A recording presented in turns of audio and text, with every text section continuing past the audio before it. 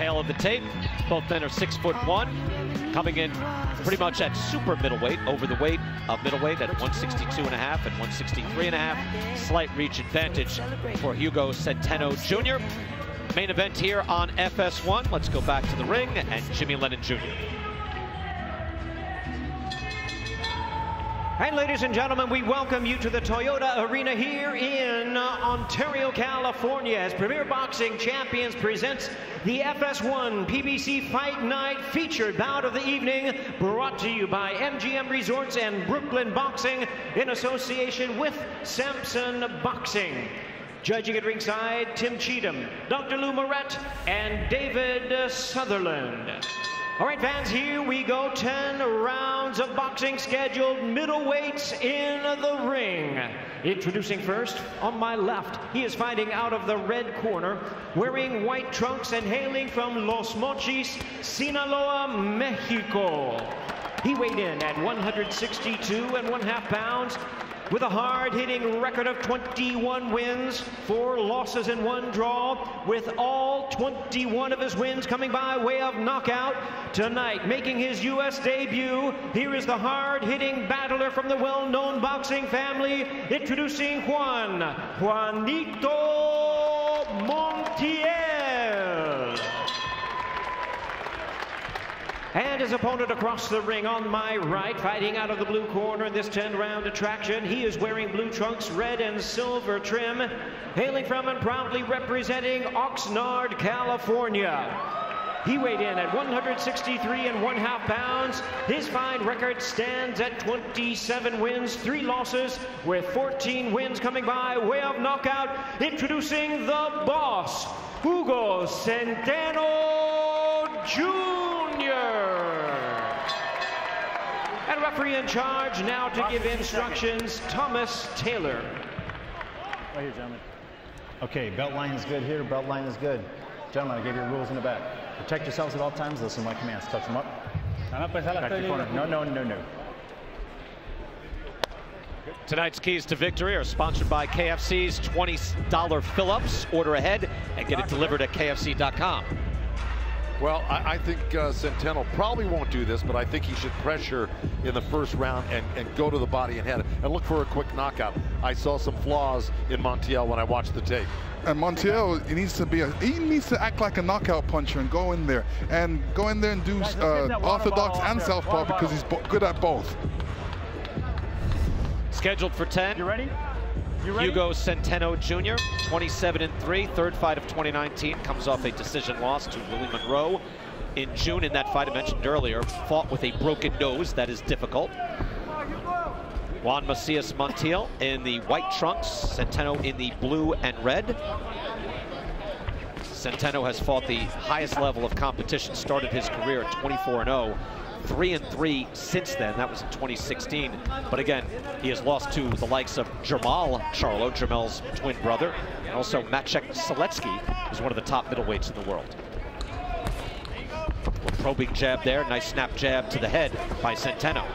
Well, so far Montiel hasn't done what he said he was going to do uh, in the first round in our fighter meetings. He said he was going to come out and press and press hard. And Centeno was the one who actually started walking forward in the first round here. I thought he passed up a few opportunities to throw some punches while Montiel was backing up, to tell you the truth. But let's see how this uh, unfolds here. See, right there, he could have punched off that turn. I'm surprised he didn't. Centeno pretty good with the footwork and then pressing the jab but goes to the body right away. He's going to the body very well with that jab. I think he's passed up a few opportunities, Centeno, not to throw a right hand. He threw a nice jab to the body. Throw that right hand to the head after that and just see what happens. You is know. that movement giving him trouble, though? Is, is that what's well, doing it, Joe, no, no, him off? because Montiel was kind of stationary right in front of him for the first 30 seconds of this fight. I, I just thought he should have thrown a hard punch, you know? Well, he did say that he, you know, Like he's that. gonna he's gonna be a little cautious in there, especially in the first round because he knows he's up against a knockout puncher.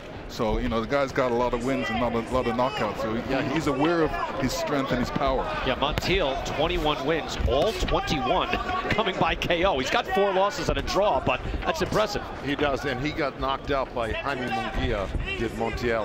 And how did that happen? Munguia went right at him and started throwing some really hard shots and backed him up like that. See, he backs up with his hands down, Montiel. And, and, I just think that, you know, sometimes you can catch a guy cold in that first round when he's giving you the opportunity to do it.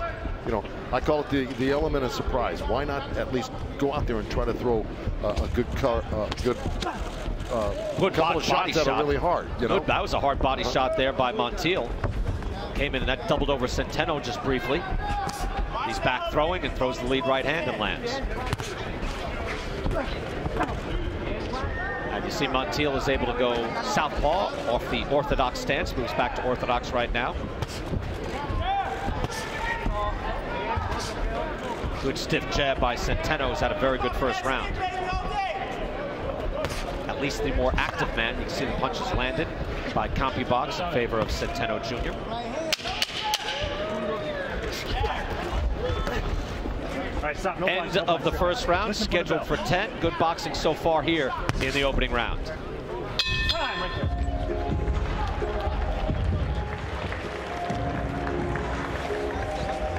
Come on, Lee. Bien, bien. Yeah? Okay. Deep breath. Dad. Oh. Okay. You see, all right? How you feeling? Deep breath, nice and calm, all right? Look, Huito, if you stay behind your jab, this guy will never hit you. All he's trying to do is throw that left hook to the body. You see it, right? Just stay calm, keep your hands tight. When he gets close, throw that one, two that Tony's telling you, just bring your hands back up. Tony Harrison comes in, still playing his championship belt. he's working it. Tony Harrison, Jermell Charlo over on Fox. This is as he is entering Lennox Lewis. I he's got a good tune going in his head. Oh yeah, he's got something going on in his head. You know, this time he's got the belt turned around the correct way. Oh, did he not have that the right way? No. Well, he's learning. A lot of people thought too that you know he didn't have a chance to really celebrate his championship because there was so much controversial, you know, uh, talk about you know how he won the fight and Charlo should have won the fight. And he, he thought you know he should have been celebrated a little more. Well, he's going to reverse, be able to reverse course on all of that tonight if he comes out and wins this fight. All right, there won't be any dispute. Well, there could be lots of dispute. Well, could be. I think this one is going to be clear cut. This one will be the other. I really do. Okay. Should be fascinating tonight. Again, it was a good tactical boxing match. Tony Harrison a year ago to the weekend, beating Jermell Charlo. Charlo, you would figure, after his first pro loss, would come in with an extra level of motivation, although he's prepared for every fight. Round two here, though. Now yeah, look, yes. Centeno's coming out as a left-hander in the second round here, giving uh, Montiel a little taste of his own medicine by switching up. And, and he came out a little bit more aggressive this round. So who who knows what he was told in the corner. Good left uppercut by, by Centeno. Centeno then pressing forward, flashing out. Now, he, he, was having success, though, in that first round. I, and I'm not scoring this fight, but it seems like he won the first round. Why would you switch it up, Joe? Well, he did land a couple of, you know, hard punches here from the southpaw position, but what normally happens is if you're a right-hander and not a natural left-hander, sometimes your defense will suffer. So you got to be careful. You may be able to throw hard shots, but they're going to come back at you, and your defense usually suffers when you switch into a position that you're not normally natural. Yeah, I agree. I agree with that. You know, I I'm always the person to say if you're good at the left hand, stay at the left. If you're good at the right, stay at the right. You've never moved southpaw, have you, Lennox? You never did that. Only for, to throw one punch and then I'm, i switch right back. Okay. Yes, I did. You landed. Oh yeah. All right, excellent. I, I threw a right hand. Well, nice right jab. Yep. but then you it was actually back. a right hook. Oh, was it? Okay. You know, last night we had the flyweight championship and saw a kid, Julio Cesar Martinez. I've never seen anybody move righty to lefty as fluid and as devastating as that kid last night. He's now the 112-pound champion. So it, it, it could be a whole new mode of boxing with guys shifting fluidly back and forth. Those guys at that weight are really athletically uh, gifted. Yep. You know, at that weight, they're amazing. They're fast. They're fluid. They're athletic. So I can, I can believe it. I'll look the kid up. A little tougher to do at 160 pounds, but again, you see Centeno able to go round to round, and now he switches back to orthodox and lands a right hand to the body.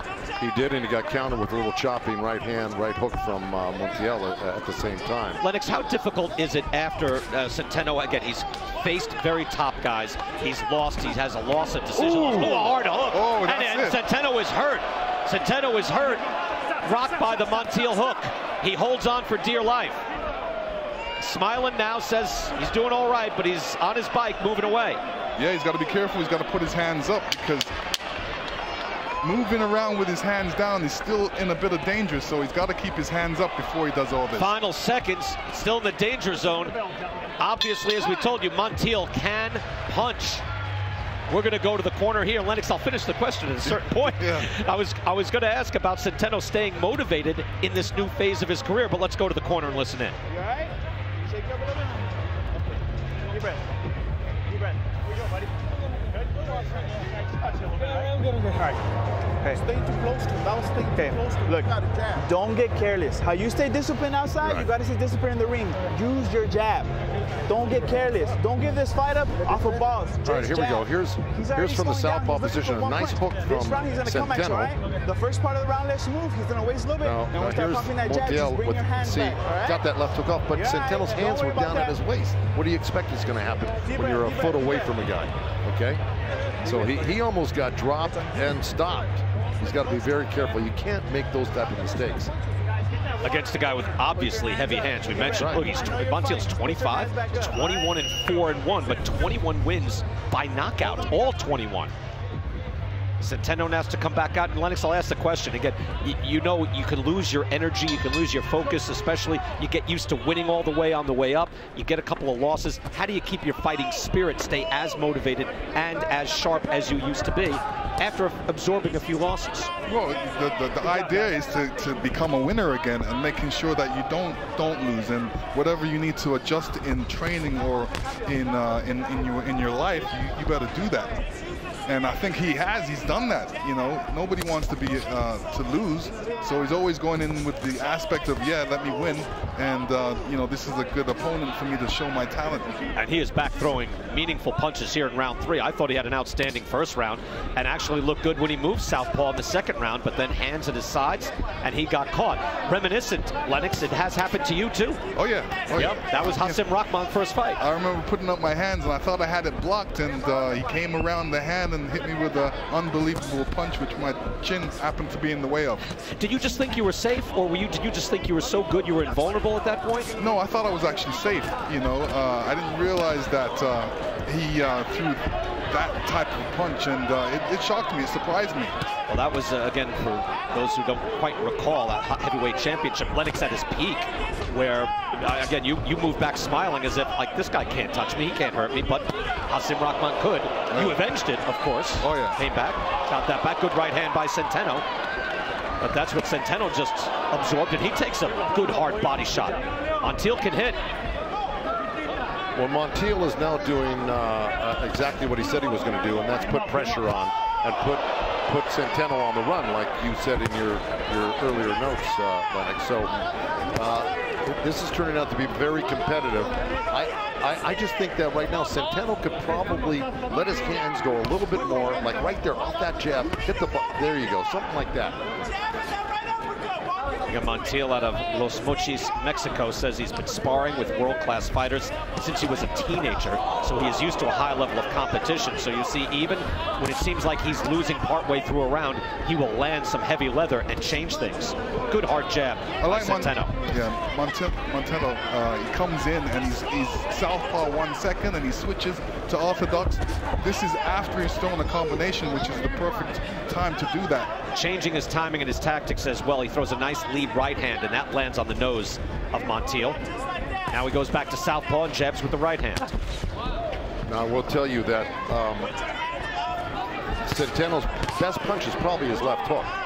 And uh, he, like that right there, that's his left hand. It was from the southpaw position, but his left hook is very strong.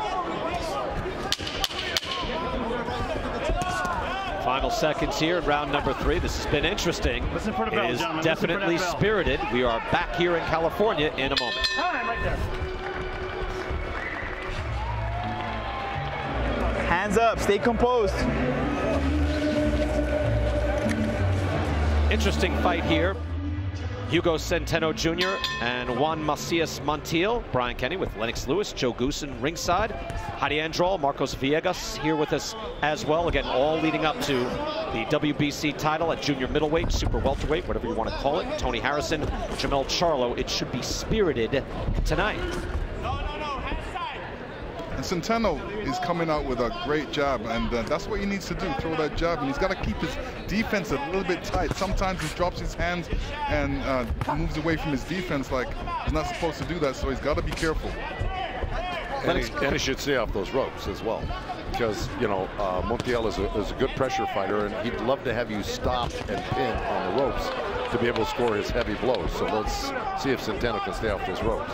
And Montiel doesn't throw a lot of straight punches. They're looping punches, and those those you can't see sometimes, especially when you're used to boxing against a guy against uh, with a guy that throws straight punches. So those looping punches sometimes get away from you. Good jab to the body again by Centeno. Now, again. Oh, I'm sorry, Bright, but uh, I was just going to say Centeno has a big knockout. See that left hook he just threw there? It was a nice counter left hook. He hit uh, um, the, the guy that fought uh, Aleem, uh, uh, Immanuwel Aleem, who fought Matt Korobov to a draw on the Jarrett Hurd card. And of course, um, Korobov had that great fight with Jermall Charlo. Uh, it was a very competitive fight. But Centeno was able to knock out uh, Immanuwel Aleem in the third round with this dynamite left hook. So, you know, I've yet to see him land that yet, but that is his strong suit, is that left hook. Whacking right hand there by Centeno. It brings up something I was going to ask you, Lennox. Do you think Jermell Charlo is better off not having his brother on this card? Because, again, when he lost that fight last year, he had his brother waiting in the wings, and there just seemed to be a lot of angst between the two, and they both had a rough night. No, I, you know, it doesn't matter. It doesn't matter. The, the guy that he needs to worry about is the guy that he's facing, and that's Harrison. All right. Uh, Joe, you agree with that? No, because I'll tell you why. I have two brothers that uh, fought uh, 60 fights, you know, and most of them on the same card, and it was really difficult for them and me, to tell you the truth. I, I would never want to do that again. Well, it was, uh, Gabriel and Rafael Ruelas. What I was going to say is, look, in one fight uh, that Gabriel had, he injured somebody uh, very badly in a fight, and then Rafael had to come out and fight De La Hoya. It was a it was a big emotional thing. It, it really was something I wish I could have avoided at one time. So I, I have been through it. Yeah, so but you, I, you, I were, you like were coaching both brothers at the time. I was. Yeah, this Yeah. is a situation where they're coached by different trainers. Yeah, but the but the, the fact of the matter is, both of the fighters are in the arena. Both of them are fighting. It's it's an emotional thing. I'd rather rather have one sitting on the outside. And they're twins. Yeah. Like, I mean, there's a real relationship there. They can feel each other. Gabriel and Rafael Ruelas were both 17 at the same time for a month or two every year. Wow. I'm trying to do that math right Like now. twins. By the way, uh, on Twitter right now, you can let us know your favorite PBC fight of 2019. And you can vote for Julian Williams with his upset of Jarrett Hurd. He has two belts at 154 pounds now. We talked about Manny Pacquiao with his upset over Keith Thurman at the age of 40. Errol Spence and Sean Porter, welterweight title. That's at 34%. Wow, just over Pacquiao and Thurman. Or Deontay Wilder's one punch KO of Luis Ortiz in November. That at 16%, bringing up the rear. All right, so good voting. Let us know what you think at PBC on Fox. We'll let you know the results later in the broadcast. That's Andre Durrell backstage with the champ, Tony Harrison. Tony looks relaxed. Gonna have to channel his energy tonight after waiting a full year. Again, an ankle injury, postponing that bout in June. Charlo wasn't buying. Said Harrison was just bagging out, but they will both get it on tonight for the world title. And back here on FS1, once again, Hugo Centeno Jr., Juan Macias Montiel, round five scheduled for 10. Remember, when we had that Deontay Wilder fight, his younger brother got knocked out in the undercard. Well, I don't Right. know it led to anything, but it could be upsetting And then Deontay came out and knocked out his opponent. after losing several rounds.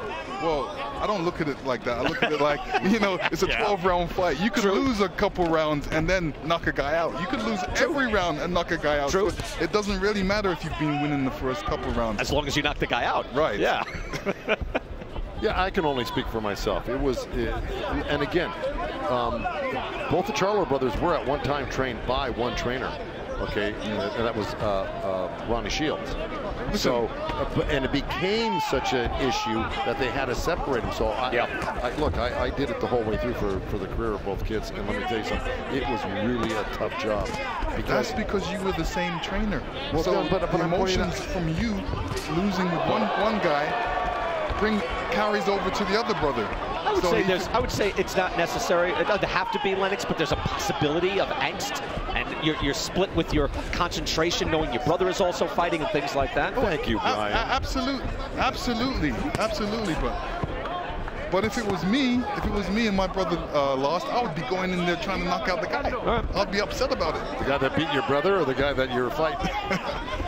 Marcos Villegas is with us. Marcos, how are you scoring this so far? It's a competitive fight. What do you think? Yeah, it definitely is competitive. I have it 39-37. Now, the, the last few rounds have been really competitive. Uh, they've been really, really tight. But I think overall, at this point, Centeno is throwing a lot more and landing a lot more. The only thing that has me wondering is the score could be flipped to Montiel if the judges are preferring the bigger, damaging punches that Montiel's landed in the earlier rounds. No, very good point, Marcos. Thank you. And that you're right. There are hard thudding shots coming back the other way for Montiel. The regular work, and it's been excellent work so far being done by Centeno. And you see the punches landed there. It's not a wide discrepancy, 52 to 39, but it is in favor of Hugo Centeno Jr. And Centeno's doing a good job of moving and kind of picking and poking right now. He's snuck in a nice little right hand lead, a few left hands. Uh, but but again, it's not, you know, Montiel is, oh, nice right uppercut by Centeno. But Montiel is, is touching him back. So he's, every time he gets hit, he's trying to even it back up by getting back like there. There's a nice Power shot there. Yeah, the hook to the body by Montiel after throwing and trading uppercuts. Both men want to land that uppercut. Another good hook to the body. That one hurt him. Let me That's, tell you, yeah, dropped his hands. That's debilitating. You heard him grunt. He was right here uh, above us. He really, he really felt that punch. And Centeno should go back to his jab, like his corner was saying. His corner wants him to hit, move with the jab a little bit more. Final seconds here, but we will keep it here. And tonight's quarter cam is sponsored by Liberty Mutual Insurance. Only pay for what you need. This fight does not have to be hard. You're making it hard. All you gotta do is fucking jab. Look, baby, you, if, if you're inside, you feel one, you gotta slip the next. We're not here to make this a broad game in the fucking fight, all right? Deep breath. Deep breath. Come on. How you feeling? You all right? All right. you have the power to Dig deep. You got to use that jab. Stay disciplined. We're in the six now, right, Dad? We're in the six. So stay behind your jab and bring it back. All right? That six inch right hand. You jab. That short right hand. All right? And you see this wicked uppercut by Centeno, and you can see the eyes, the reaction from it. By the way, in that corner, that was Eddie Centeno. That is Hugo's younger brother. Hugo Sr. is on the outside of the ropes. Interesting dynamic there, Joe Goossen, isn't it? Because the dad is the chief second, but he's on the outside. The younger brother's in front of his face. Yeah, the the one who looks like he's 16, but he's 25. And I thought they were great instructions. He, he you know, he told him be smart, use the jab, and uh, you know, keep boxing nicely. And, and he's he's, it's, I think he's listening to him. And there you see the uh, punch stats here. Power punches landed Montiel with the advantage there in the fifth. And those are just the power punches. I would figure that Centeno Jr. has the lead jab. Fighting a lot more off that left jab. And that's good that he lis- listens to his brother because he's, he went out there straight away and popped off three jabs straight and a hook. Looked good. Again, there's a, there's a lot to that. We're talking about brothers, fathers in, in the ring, and uh, these guys will often say, like, I don't have to finish my sentences. He already knows what I mean. And uh, Hugo has said that, saying, like, I, I just listen to my brother, and we know it'll be a look, it'll be a nudge, it'll be a wink, something. I'll know exactly what he means. Oh yeah, they've, they've lived together for so long. They know each other inside and out. Round six scheduled for 10. Again, interesting middleweight fight here. Hugo Centeno Jr. and Juan Montiel trying to get back into contender status. Beautiful jab there by Centeno. Two lead right hands. There's a lot of variety, Joe, from Centeno. Well, Centeno's being very athletic right now. You know, uh, Montiel is kind of rudimentary. He comes in and he puts his hands up. He does a little slip job, and then he, he wants to touch you. But, you know, uh, Centeno is being real cute, like that double right hand that he threw right there and then got under the counter. Um, you know, he's trying to make angles turn on, on Montiel because Montiel is putting a lot of pressure on, touching his body. It is important to stay unpredictable and have some variety to your game. And Centeno was able to do that as he now goes back to southpaw. Lead right hand by Montiel lands. See, Montiel is switching from, like we were talking about, Lennox, switching from right hand to left hand. He's and eating some shots. difficult. Yeah, but he's eating some shots here. He got his head moved around there. Some uppercuts, goes back to conventional. Good, that was a nice another, turn. yeah, whacking right hand. You know what? It's the, now I'll go back to Marcos after this to see how do you score this round. Just when you think Centeno has it in the bag. Well, and and just to let you know, though, on that hook, Centeno did write it out. You know, he turned his head when, when the punch came. So you think judges all put the you know the the other Yeah. wherewithal or the angle? There's a good hook that lands. Listen, you got Lou Moret sitting across the ring here. He's been looking at fights for about 50 Right. years now. So, yeah. if he has the great angle, Joe, what if you don't have the angle? You see, gets, you see a guy's head rocked. I've Well, no, the, we saw it from here. He saw it from there. You know, it doesn't matter where you are. You can see when a guy turns his head. Well, if you're paying attention. Lennox, I deserve that. I, I cheap shot at Joe earlier. I, I, I, I wanted to apologize, Joe. No, no, you- there's no apologizing in boxing.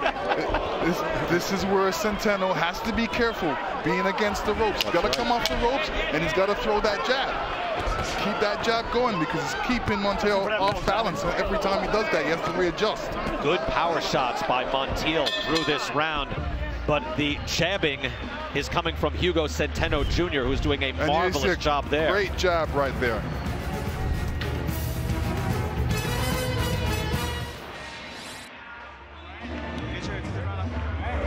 Just move, deep breath. All right? Sure? Yeah. All right. Look. Don't stay right there. This round, let's just move, all right? This round up and get some air, all Keep your hands up. Keep your hands up, right? We're going into seven, right? Seven? Okay, hands up, stay tight. You got four rounds left. Just boxes, kid, you're winning, all right? Just keep your hands tight, fool. All right?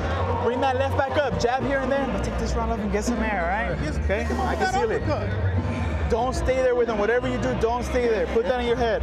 Don't stay there with him, all right? This guy can't hurt you. Your jab is too much. You just gotta rely on that speed. Gotta stay disciplined, all right? We're almost there, baby. Put your hands up and just take this round up and get some air. Deep breaths, all right? You gotta be first. Está cansando. Scrap here, Hugo Centeno Jr. right there against Juan Macias Montiel in the white trunks. Round seven, and again, an interesting fight going back and forth. You see the punches landed there in the sixth round to Centeno Jr., but some heavy leather was landed by Montiel as well. And Montiel, he's looking like he's coming in there trying to knock him out. He's looking for that power, power punch, and he's looking for that opportunity. Yeah, he's really starting to put on hard pressure now. He's just walking, you know, Centeno down, and Centeno's just got to be able to catch him coming in. See, well, well, Montiel's coming in. You got to use that jab up and down, throw some punches downstairs, upstairs, make your turn, stay off the ropes. And Centeno should hold his ground a little bit more and, He and could. just throw a left, you know, left, right, or a right, left, whatever st- style he wants to put. You know, No, you're you're right. He, he, he could, and he's capable of it. Montiel doing the stalking, But see, he's Centeno doing the jabbing, but he's on his bike now. He is. And, and, and see, the thing is, Montiel probably has very heavy hands, and, and uh, Centeno probably feels those little short shots on the inside. He goes, well, let's see if I can get it done from the outside instead of getting clipped a little bit. You know? Centeno is moving and moving and trying to keep him at bay, but good right hand, and he ducks anything. under. Didn't really do much to uh, Montiel when it hit him, though, I'll tell you. yeah, he's got to do something to kind of slow down Montiel a little bit. Yeah, he's marching Lennox to a point, Yeah. right? By the way, I, I just got to mention this real quick. You haven't noticed the referee in this fight tonight, have you? It's an excellent point. Yeah. You know, Tom that- Taylor is barely there. Right, and that's the sign of a great referee. Yep. He's letting these guys fight. He'll he'll he'll insert himself when needed, but that's a great referee. It's a good point. And you bring up Dr. Lou Moret, who, who's been judging fights since 70s, well, 80s. Refereeing fights back in the old Yeah. days of the Olympic in the 70s Oh. Ah. when I used to go there. So, But I've always wondered about that, Joe. In all seriousness, when I see a guy that say, "Oh, he's a veteran guy. He rides out that shot. He went with it." Yeah, how, you're expecting a judge to know that, or you're expecting a judge to see your head snap back and give you credit for a scoring blow? You know what I'm saying? I, I just don't know if that pays off in terms of judging. well, well, the thing is, is that if I'm scoring, if I'm a judge and I'm scoring, I'm not going to really give a guy uh, a credit landing on a, a big left hook if, it's, if somebody rides it out. That's all. If, if you if you can tell he's riding it out. well, yeah, you- well, that's what you're being paid the big bucks for as a judge. You know? Yeah, well, well uh, I'm going to ask you again about the judging after the main event tonight, okay? All right, and see, all right. see if you're all good with all the judges and how they judge things. Centeno. Centeno, every time you get you hit him, he just shakes his head. I love guys that do that. That means I'm not hitting them hard enough. right. So they're they're actually telling you, look, you should be punching a little bit harder. Yeah, it's like, no, that didn't hurt. Okay, I- I'll try it again. No, that didn't hurt. It will hurt eventually. Montiel is stalking He throughout is, this but, round. He is, but I, I, I think he's uh, uh, Centeno's going to get the credit for this round. Well, he's landing the scoring shots. He had that right hand earlier, maybe didn't do a lot of damage, but that's a scoring shot, and they add up.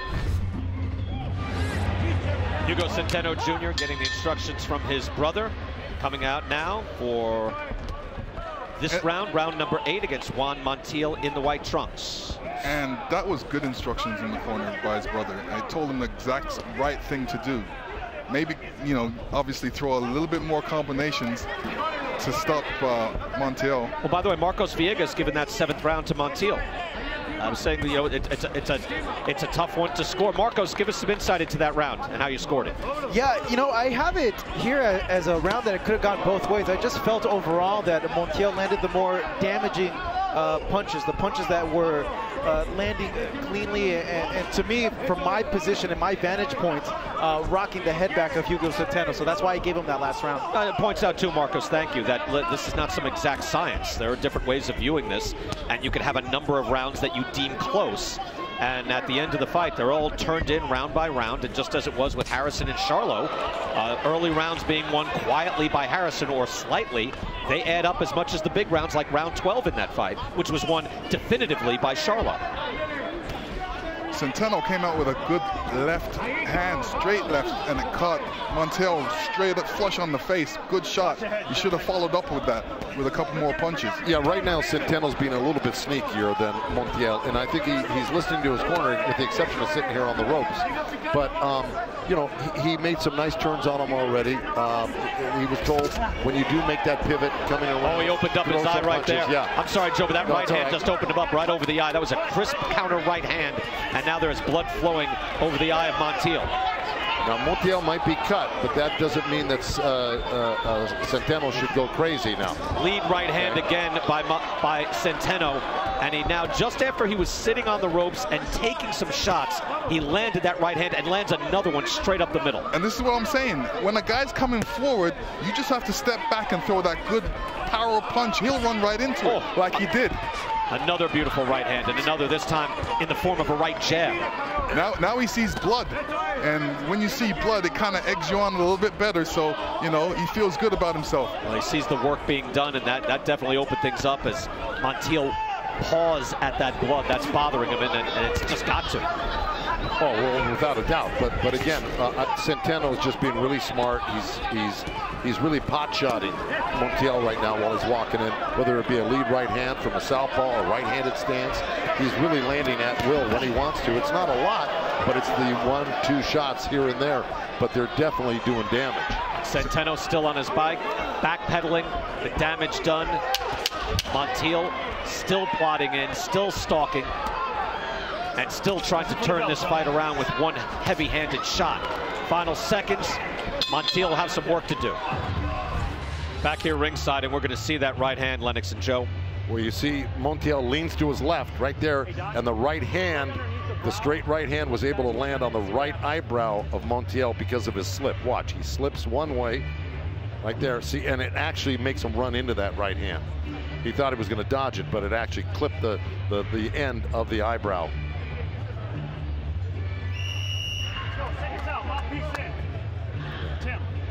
Well, once you see that blood flowing, like Lennox says, it's, Yeah, it's a I mean- real incentive. Of course, he felt good about himself. He said he's got him. He's got him. And real work in the corner. Manuel Montiel is the cut man for Juan Montiel.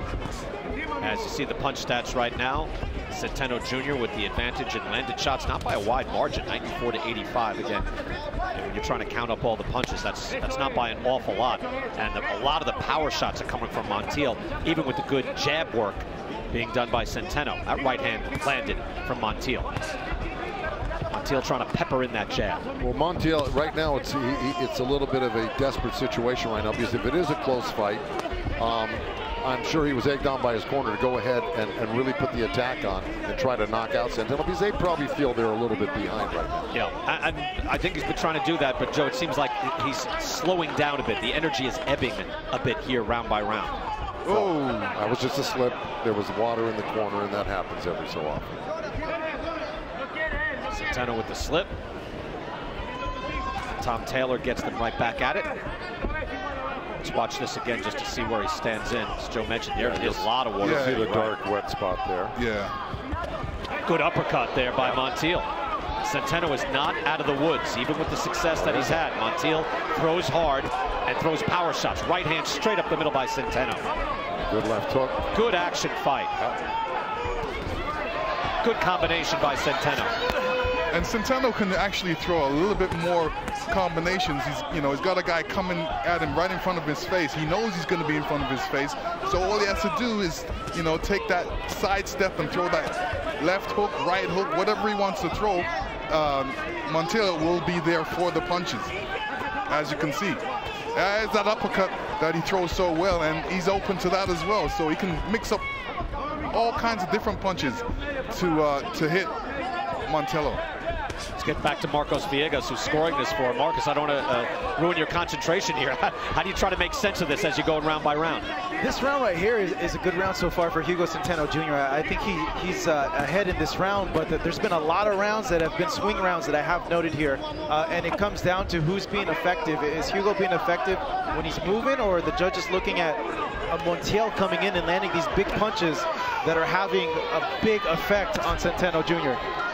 Marcos, thank you. And you can see right there, there's another another body shot. Centeno land. Those are scoring blows. Two more. So those are scoring shots that are coming in. And as a judge, you've got to try to weigh, all right, how much damage was done? Another body shot lands by Centeno. Yeah, I, I have a feeling that it's probably leaning towards uh, Centeno the scoring right now because he's he's really doing what he wants to do. He wants to move, he wants to box, and he's pot shotting from the outside. He's been busier, you're right, Joe. He's been effective as well. Montiel's still in it. Centeno seems to be doing the job necessary. It's about time you showed up, man. Hey, what the hell? We need this round. We You got need this somebody round. punching the time clock for you?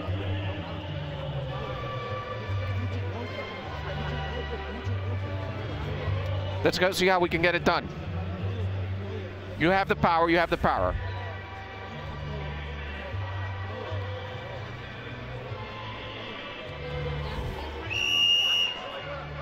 There in the corner, Pedro Montiel Yeah. with Juan Macias Montiel. Montiel, as we've been mentioning throughout the fight, seems to be down, you would think is down on the cards. We do not know. Hugo Centeno Jr. outlanding. He's been able to pick his shots, but it's been a very competitive fight.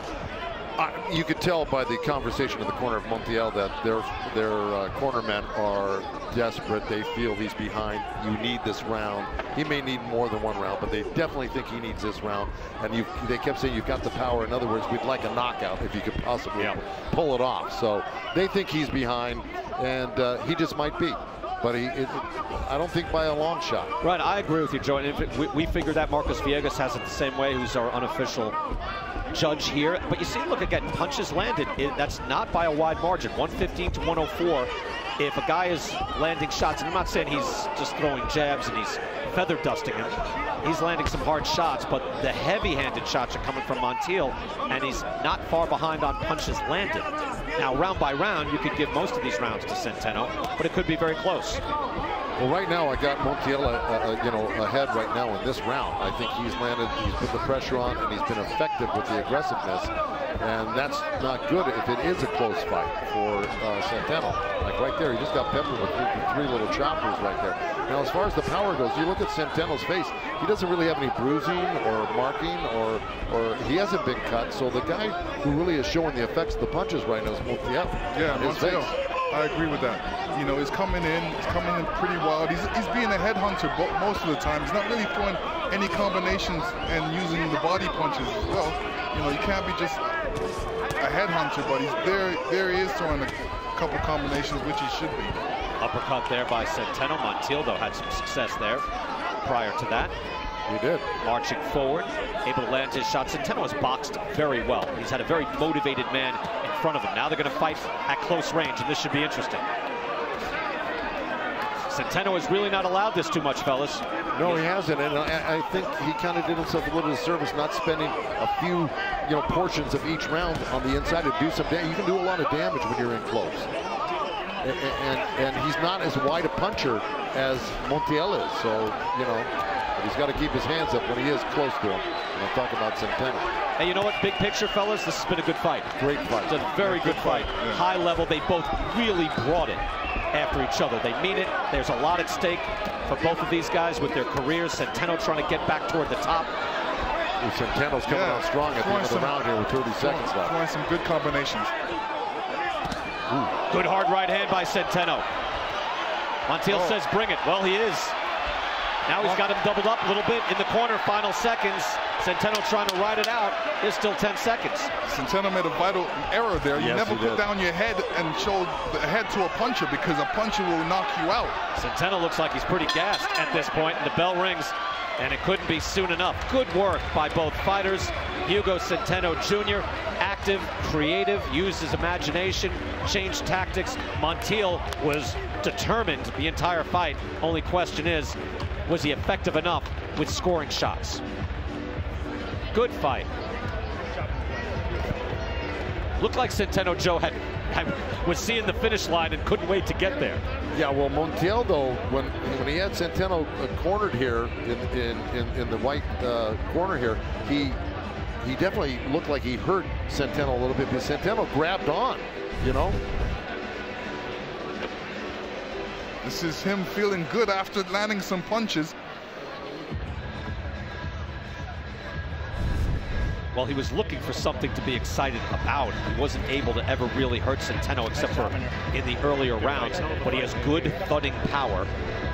Again, he has won two straight fights. It's getting stopped in two rounds by Jaime Munguia.